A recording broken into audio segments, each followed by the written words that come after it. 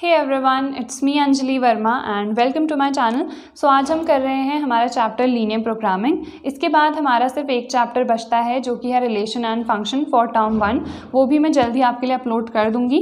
अब linear programming में basically दो तरह के क्वेश्चन हैं. एक तो जिसमें आपको proper corner points and all निकालने हैं. मतलब उसमें प्रॉपर आपको सॉल्व करना है. अब एक है इस टाइप के क्वेश्चन जो कि आपको डायरेक्ट ऑप्शन चूज़ करना है.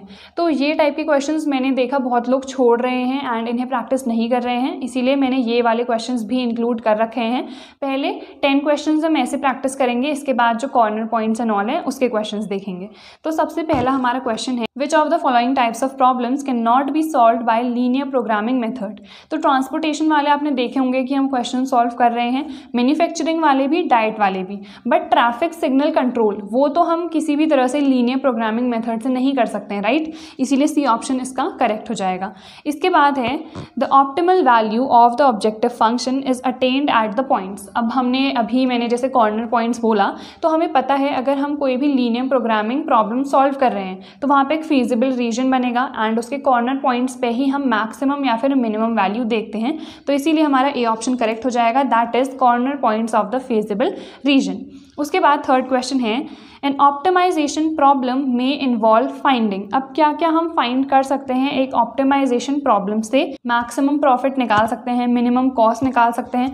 मतलब बेसिकली मैक्सिमम और मिनिमम हम निकाल सकते हैं। तो इसीलिए इसमें तो maximum minimum minimum which means तीनों हम कैलकुलेट कर सकते हैं। सो डी ऑप्शन हमारा करेक्ट हो जाएगा। उसके बाद the condition x is greater और equals to zero and y is greater और इक्वल्स टू ज़ीरो अगर x की वैल्यू ज़ीरो से बड़ी है one two three which means positive है सिमिलरली यहाँ पे भी पॉजिटिव है तो पॉजिटिव वैल्यू को हम और क्या कहते हैं? नॉन नेगेटिव तो सी ऑप्शन करेक्ट हो जाएगा नॉन नेगेटिव रिस्ट्रिक्शंस रिस्ट्रिक्शंस इसीलिए बिकॉज़ जो फेजेबल रीजन है देन वो हमारे फ़र्स्ट क्वाड्रेंट में ही बनेगा. इसीलिए इसे रिस्ट्रिक्शन कहा जाता है.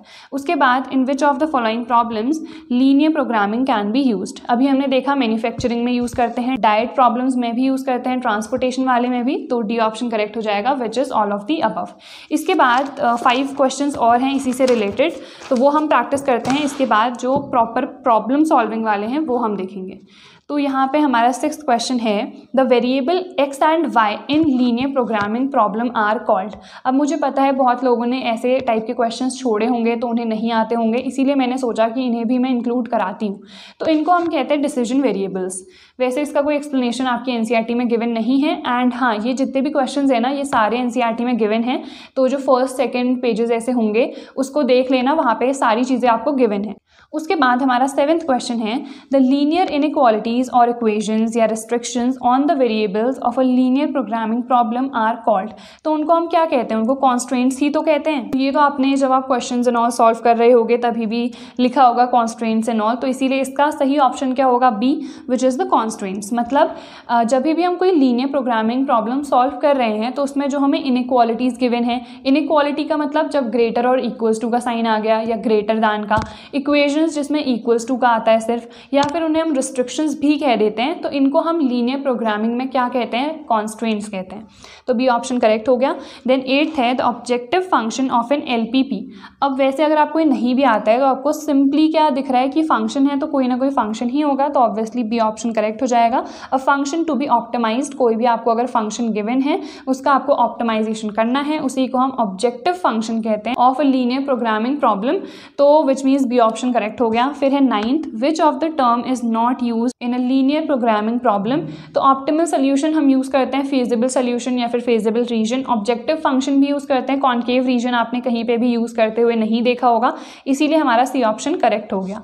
उसके बाद टेंथ है the optimal value of the objective function is attained at the point is तो कहाँ पे हमें ऑप्टिमल वैल्यू मिलती है? अभी हम जब स्टार्टिंग की है हमने, तब से हम यही कह रहे हैं कॉर्नर पॉइंट्स कॉर्नर पॉइंट्स तो विच मीन्स कहाँ पे मिलेगी? कॉर्नर पॉइंट्स पे। तो सी ऑप्शन करेक्ट हो जाएगा given by corner points of the feasible region C option हमारा करेक्ट हो गया। तो आई होप ये जितने भी क्वेश्चन हैं, ये अच्छे से समझ में आए होंगे। इसके बाद हम देखते हैं जो हमारे प्रॉपर प्रॉब्लम वाले क्वेश्चन हैं। आप देखो यहाँ पे इलेवेंथ क्वेश्चन हमें गिवन है the feasible region for an L P P is given तो ये है हमारा feasible region minimum value of Z हमें निकालनी है तो सबसे पहले कॉर्नर पॉइंट्स देख लेते हैं, क्या है? एक ये एक ये एक ये तो कॉर्नर पॉइंट्स हमने देख लिया एंड हम z की वैल्यू उन्हीं कॉर्नर पॉइंट्स में निकालते हैं। Zero comma five three comma two and zero comma three मैंने यहाँ पे लिख दिया।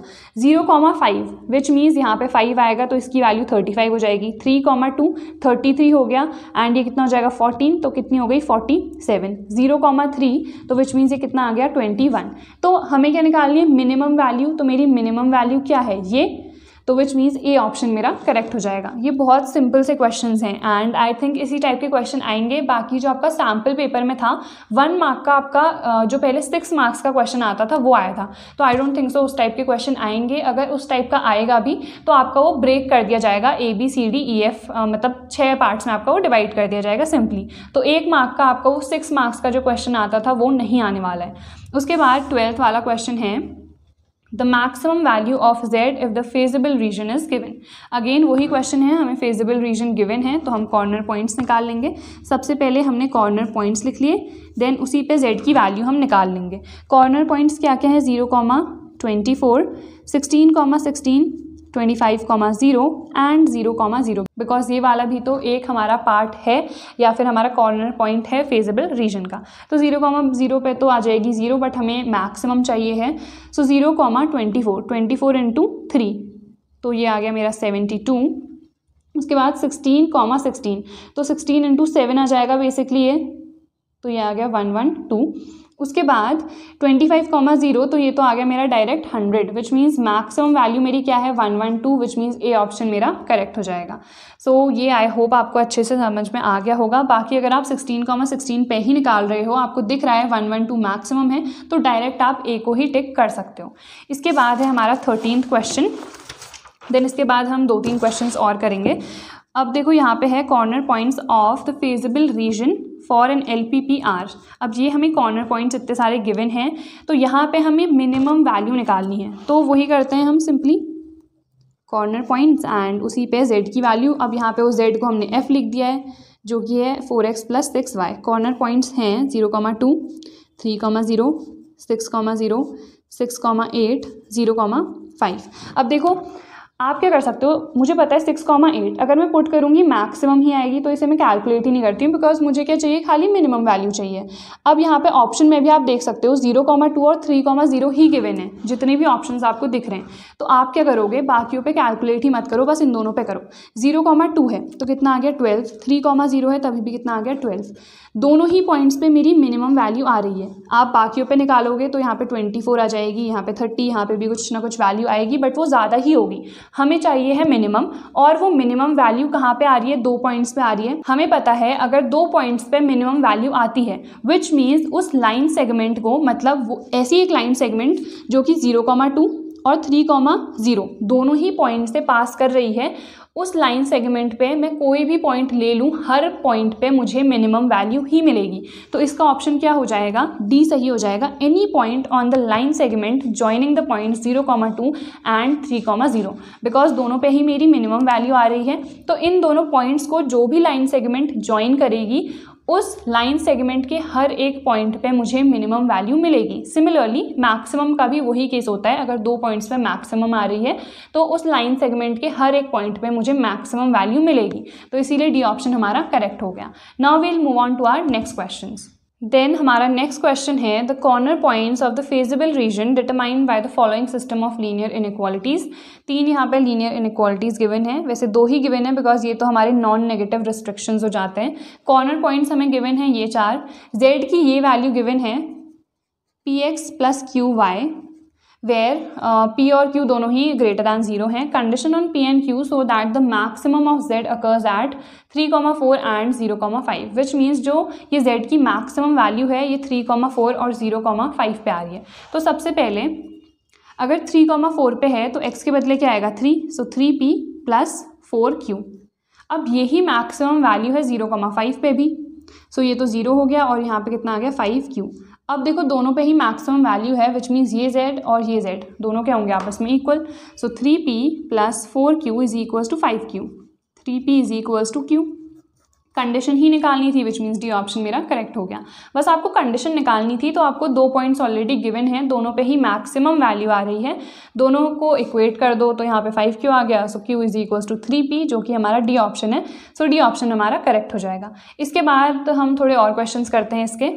Then we have our next question the feasible solution for an L P P is shown या फिर हमें रीजन यहाँ पे ऑलरेडी गिवन है एंड जेड की वैल्यू ये है एंड uh, बाकी कॉर्नर पॉइंट्स हमें दिख ही रहे हैं तो हमें मिनिमम वैल्यू निकालनी है।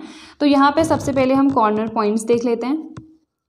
बहुत सारे हैं यहाँ पे zero comma zero zero comma eight four comma ten six comma eight six comma five and five comma zero. And यहाँ पे हम लिख लेते हैं जेड की वैल्यू। तो जेड की वैल्यू अगर ज़ीरो कॉमा ज़ीरो है तो ये ज़ीरो ही आया।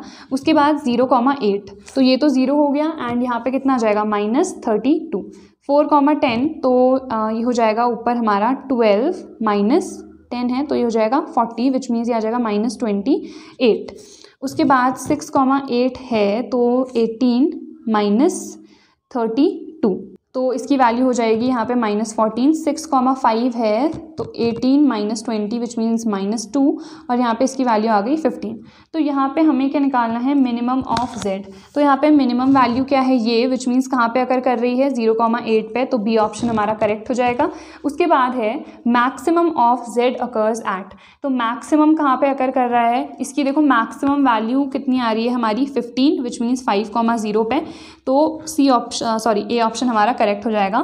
फिर minimum value plus maximum value तो मिनिमम वैल्यू मेरी कितनी है? Minus thirty two and maximum value मेरी कितनी जा रही है यहाँ पे? फिफ्टीन तो इसे हम सॉल्व कर लेंगे। सो ये हमारा हो जाएगा minus seventeen which means D option हमारा करेक्ट हो जाएगा।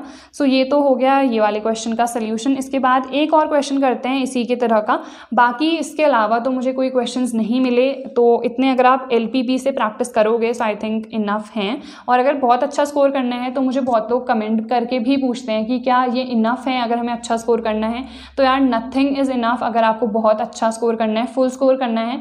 खुद की प्रैक्टिस बहुत ज़्यादा इंपॉर्टेंट है। क्वेश्चन उठाओ खुद प्रैक्टिस करो उन्हें। हैं तभी आप बहुत ज़्यादा अच्छा स्कोर कर सकते हो एंड इवन फुल स्कोर कर सकते हो। सेल्फ प्रैक्टिस मोस्ट इंपॉर्टेंट है मैथ्स में। तो इसके बाद हम एक लास्ट क्वेश्चन करते हैं। Then we have our last question जिसमें हमें जेड गिवन है एंड फिजिबल रीजन भी गिवन है। हमें मैक्सिमम वैल्यू निकालनी है। तो अगेन हम क्या करेंगे? कॉर्नर पॉइंट्स एंड उसी के लिए जेड की वैल्यू कॉर्नर पॉइंट्स है zero comma two three comma four seven comma zero and zero comma zero यहाँ पे तो वैल्यू ही ज़ीरो हो जाएगी। सेवन कॉमा ज़ीरो पे थर्टी फाइव हो जाएगा।